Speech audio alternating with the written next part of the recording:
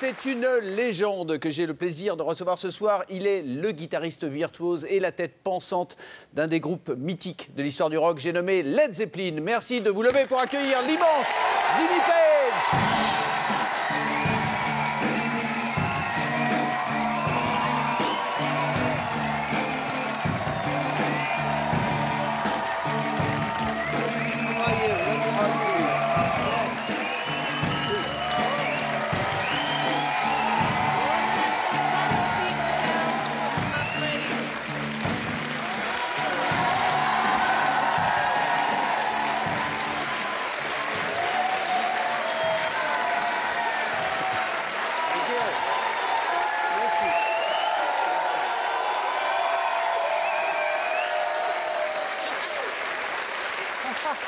Say? Hop, hop, hop. Gardez-en pour tout à l'heure. Monsieur Page, bienvenue sur le plateau de Grand Journal. Je veux dire que je suis très ému de vous recevoir parce que le premier album de Led Zeppelin, c'est le premier album que j'ai acheté. Tous les autres avant, je les piquais. Before Led Zeppelin 1. Avant les Oh, Zeppelin, well, oui. then that's good for us. Formidable, c'est bien je pour sais, nous. Je sais, j'ai participé à votre fortune. Je voudrais faire un, un petit saut en arrière dans le temps. Nous sommes aujourd'hui Yeah. en 2014, euh, je le rappelle, mais en 1968, quand vous quittez les Yardbirds, euh, vous vous dites, je sais ce que je vais faire. Je vais créer un groupe qui, petit 1, va redéfinir les normes du rock, qui, petit 2, va enregistrer autant d'albums qui deviendront des classiques, qui, petit 3, va remplir des stades sur toute la planète, et qui, petit 4, écrira cette chanson Stairway to Heaven, qui sera la chanson la plus jouée de l'histoire de la radio. C'est ça que vous aviez euh, en tête? Well, well, it was like uh, in the fate. Bah, disons que that. c'est le important destin thing was to qui l'a voulu ainsi. Mais l'important, c'était de And- réunir ce groupe, de le former that- au départ, would en espérant évidemment qu'il resterait euh, uni pendant toutes ces années. J'avais jamais aussi bien joué que quand Zeppelin on a one. And it was constitué the ce same with groupe the Led other Zeppelin musicians. 1. Et c'était la même chose avec les autres musiciens. C'est vrai qu'ensemble, il y avait une espèce de soutien mutuel qui s'est mis en place. Et donc ça Everyone marchait played euh, super bien, si bien que tout le monde jouait un niveau au-dessus. On va parler de la raison ce soir de votre présence sur ce plateau. C'est la réédition du Led Zeppelin 4 et de House of the Holy, le numéro 5, qui suivent les trois rééditions précédentes, que l'on a déjà tous dans nos discothèques, bien évidemment. On va en parler, mais avant d'aller plus loin, Jimmy Page, je laisse Damien Cabrespine expliquer aux plus jeunes de nos téléspectateurs, approchez-vous du poste, les enfants, n'ayez pas peur, ce que c'est exactement le mythe Led Zeppelin. Good evening. Des riffs de guitare hallucinants, une voix puissante, des prestations scéniques légendaires. Led Zeppelin a vendu plus de 300 millions de disques à travers le monde.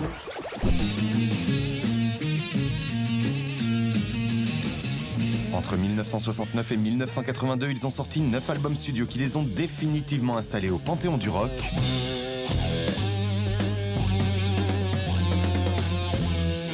Avec ces titres désormais devenus des classiques, Led Zeppelin surprend, déconstruit, ose, expérimente.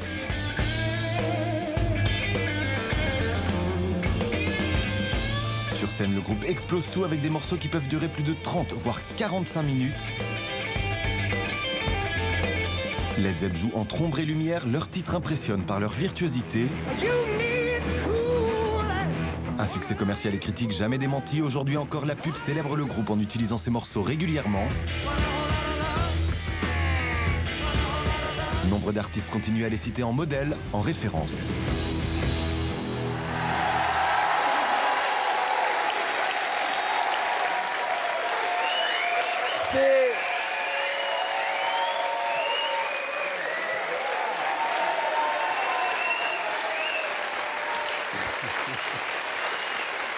C'est l'année Led Zeppelin, Led Zeppelin est partout. Vous savez que vous avez de, de nombreux fans sur cette terre, au nombre desquels euh, ce gentleman qu'on va écouter qui nous parle de Led Zeppelin. Regardez. So when Jimmy Page, Robert Plant, John Paul Jones, and John Bonham burst on the musical scene in the late 1960s, the world never saw it coming. Uh, there was this singer with a mane like a lion, a voice like a banshee, a guitar prodigy who left people's jaws on the floor, a versatile bassist who was equally at home on the keyboards, a drummer who played like his life depended on him. Obama, Obama euh, évoque et à juste titre la- l'apport de chaque musicien. Je voudrais savoir ce que vous, dans votre bouche à vous, Jimmy Page, euh, Résumez-moi chaque personnage. Qu'est-ce que chacun apportait Yeah, well, you see, uh, John. We'll start with John Bonham. Bon, commençons par John Bonham. Um, Euh, la première fois, dès qu'on a commencé, je dirais que John Bonham, lui, il a tout simplement changé la manière dont on euh, battait. Euh, du jour au lendemain, ça a changé la manière de battre. Um, Ça, c'était assez phénoménal. Ensuite, John Paul Jones, là, c'est un musicien hors pair, hors norme. Euh, vraiment quelqu'un d'extraordinaire, euh, que ce soit à la basse ou au clavier, euh, il était vraiment quelque quelqu'un d'important à avoir auprès de soi pour son talent. Et puis Robert Plant, là, quelqu'un de, formidable aussi, évidemment. Mais ce qu'il faut bien voir, c'est que chacun d'entre nous était un bon musicien intrinsèquement, mais comme je vous le disais tout à l'heure, c'est vrai que dès qu'on jouait ensemble, eh bien, on arrivait à passer à un niveau supérieur. Vous avez produit euh, tous les disques hein, de Led Zeppelin. Euh, la différence qu'il y avait entre le, disque de Led Zeppelin et Zeppelin en concert, c'était la part laissée à l'improvisation, vraiment comme, euh, comme un groupe de jazz d'une certaine manière. Qu'est-ce que l'improvisation apportait à la musique de, de Zeppelin? Well, it, we, it was like uh.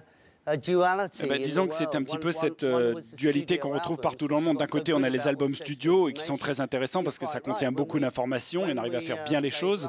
Et puis, quand on était en concert, live, eh bien, tous les soirs, chaque concert était différent. Il y avait des moments euh, euh, de différence radicale. Parfois, le son était complètement différent parce que la, la scène était ni plus ni moins la même finalement. Mais, mais la manière dont on jouait euh, changeait, évoluait au gré euh, des publics. Et donc, euh, c'était un vrai défi tous les soirs. Dès qu'on montait sur scène, c'était un nouveau défi, un nouveau challenge. C'était passionnant. Ça nous est vibré. Est-ce que quelqu'un sur ce plateau a quelque chose contre une petite minute de Led Zepp en concert? Black Dog Allez Allez I found out what people mean by down and down.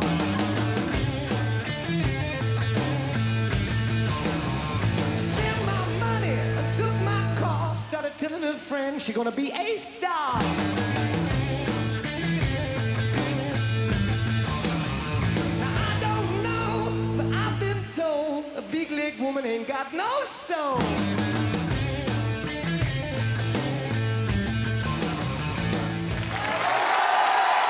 Black Dog, le morceau d'ouverture de Led Zeppelin 4, euh, la réédition de la semaine avec évidemment House of the Holy, toute la magie Zeppelin à l'œuvre. Alors elle aussi, elle aussi apporte une certaine forme de magie à cette émission. C'est Mathilde Serrel qui s'est intéressée, elle, à votre relation avec la France. Jimmy, je crois que vous avez eu vos années French Lover. Faites pas le timide, on est au courant ici. En 1968, quand vous formez Led Zeppelin, avant il y a les années Yardbirds et il y a aussi les années musiciens de studio, session man, comme on dit en anglais. Vous êtes très demandé à l'époque. Par exemple, vous avez enregistré euh, avec Françoise Hardy en 1964. La chanson s'appelle Je n'attends plus personne. Franchement, je la conseille. J'ai écouté aujourd'hui, c'est génial. Et vous dites d'ailleurs, vous la trouvez timide, mais très belle. Coquin. Euh, Cool, yeah.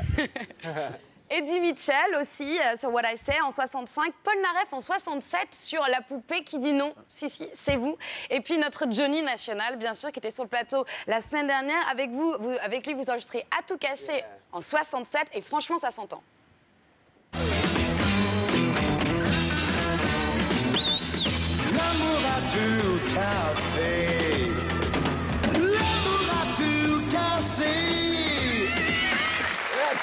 Tu cassé Tu cassé Vous l'avez, vous l'avez revu récemment, Johnny?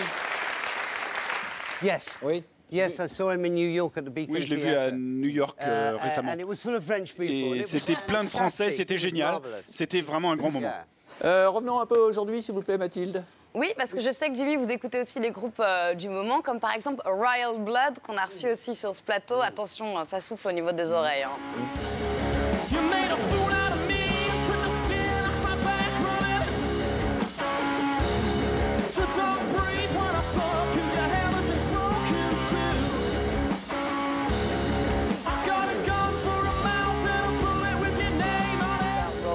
Ce uh, qui me plaît chez Royal Blood, c'est qu'ils font euh, des riffs de uh, rock.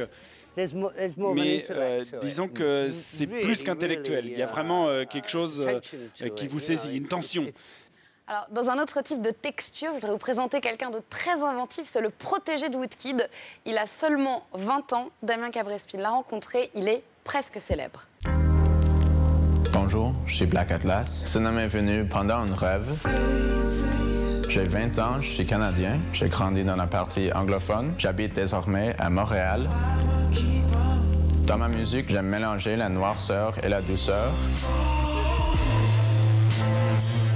Ma marque de fabrique des tempos lents des notes de piano voluptueuses.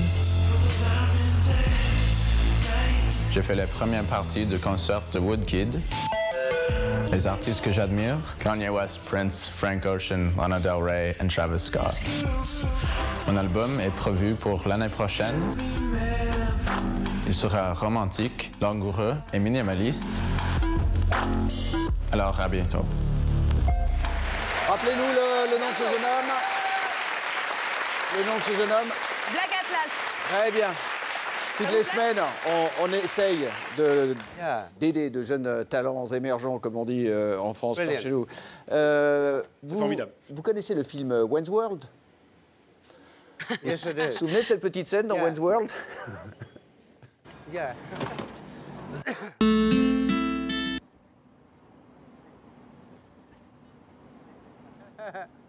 No stairway. Denied.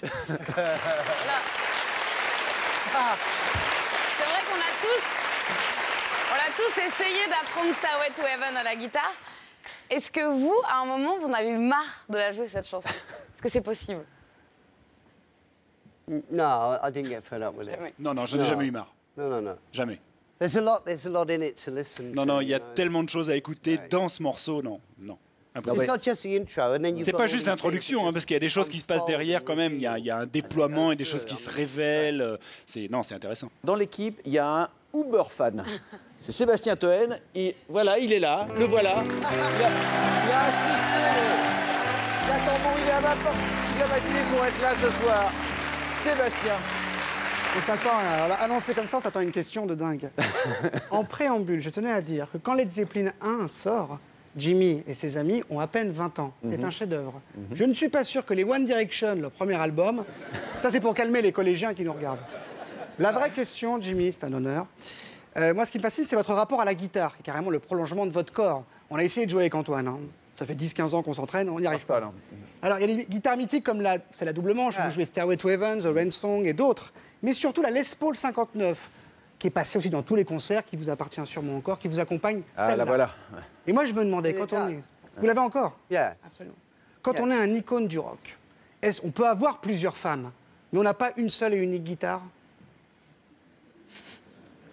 Well, let me tell you something. That, that, Attendez, je vais vous dire un guitar- secret. Cette guitare, cette in guitare, je l'ai achetée de Joe Walsh 1969. en 69. And I've been through three Et equivalent of marriages. J'ai eu, euh, j'ai été marié à trois reprises. Et disons que les mariages still m'ont coûté beaucoup that's alors que la guitare est toujours là. I still take- J'ai ma- réponse J'ai ma réponse. Mais je joue toujours When we avec cette guitare. the O2 Et in quand on a joué 2007, euh, à same Londres guitar en, en I play all the 2007, way c'était la même guitare. faithful. Toujours celle-là. Elle est fidèle. Euh, Page, euh, une dernière chose. Voilà, j'ai un petit garçon de 6 ans. Je lui ai acheté une euh, guitare euh, pour Noël. euh, et je voudrais que vous soyez le premier à la toucher. D'accord? Je sais, c'est un peu. C'est un poil euh, fétichiste.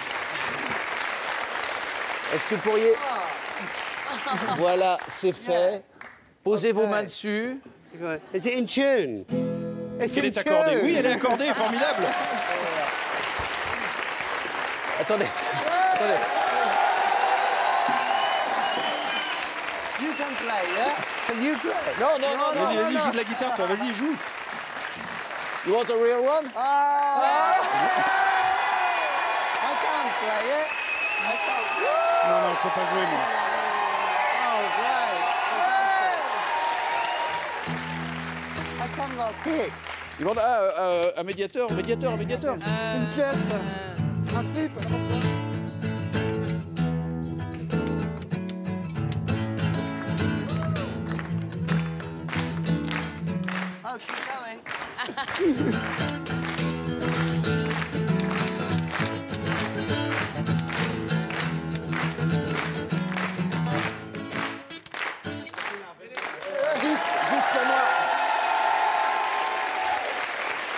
Merci. Merci beaucoup.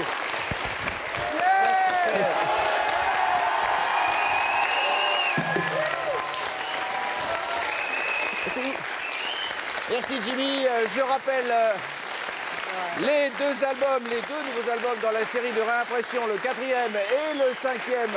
Le reste suivra, je l'espère, d'ici quelques mois.